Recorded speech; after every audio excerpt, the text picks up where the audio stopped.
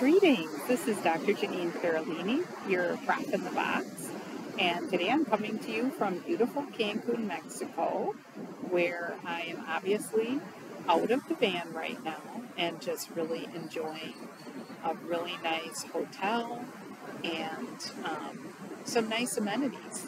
And you know, what I've been learning is that sometimes it's nice to get outside of the van and really enjoy a nice resort or hotel or some amenities um, because that helps to. Oh, that's an interesting picture.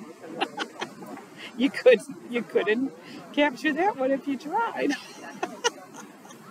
anyway, it's nice to get away sometimes from um, you know, the, the van and just get a little bit of space and enjoy some other amenities. So I've spent most of my time since I got the van in the van.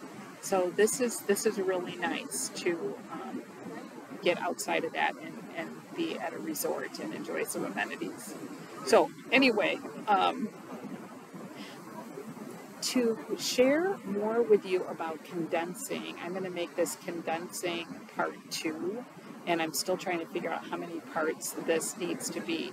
So, you know, I started working on condensing as I mentioned in a previous video, you know, some of my moves really helped me to condense where I moved from like 1350 square feet to 915 square feet and then to like 600 square feet. And those certainly helped me condense but um, you know, another part of the condensing I've really worked on is I took some of my uh, items that I don't necessarily use a lot or wear a lot. For instance, like formals.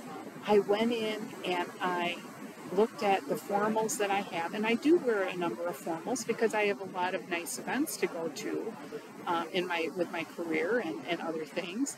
And so I took some of my formals and I just took them over to a consignment shop that was being, you know, fair with prices for formals. And so I've been working on selling those and I've actually sold most of most of my extra formals. But it's like I don't keep formals around. I keep, you know, three to four formals and then, you know, I sold the other, you know, five that I've had.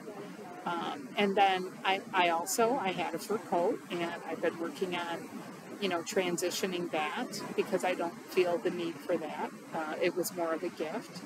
Um, but those are some things. Take a look at those things that you have that you really don't use that often, and try to see if you can either donate them to somebody that it would be helpful to, or sell them in a way to, you know, gain some money that you can put into your van. And then here's here's one of the big things that I did. I moved all of my statements and financial items to online. Now, I'll be upfront with you, that was not easy for me to do that because I'm someone who likes a copy.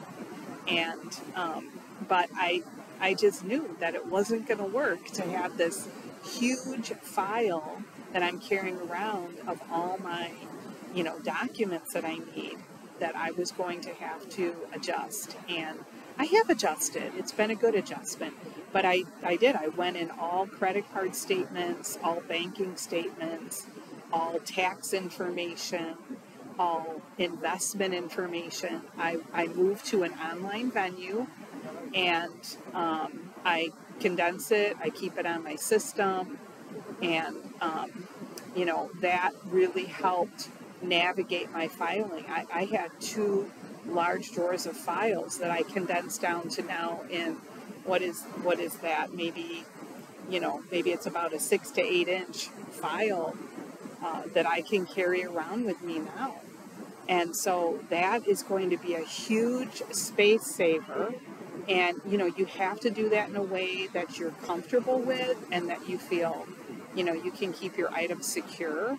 And I have certain things on my system to help keep my items secure and um, you know private which is very important but yeah so think about that what are the statements you know banking checking investment credit card think about all that paperwork and how you can begin to condense that and simplify it.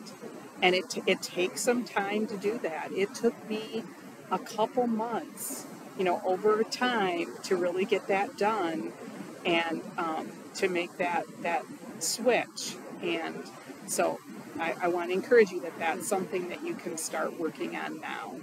So I hope that's helpful. I'll leave you with that because that, you know, condensing part two will take you a while, a month or two to complete, but I'll leave you with that. And plus, we want to keep this video to, you know, close to five minutes. And so um, I hope that's helpful um, for you as you consider what it means to be in your van. So here's signing off from your Profit in the Box. Have a great day.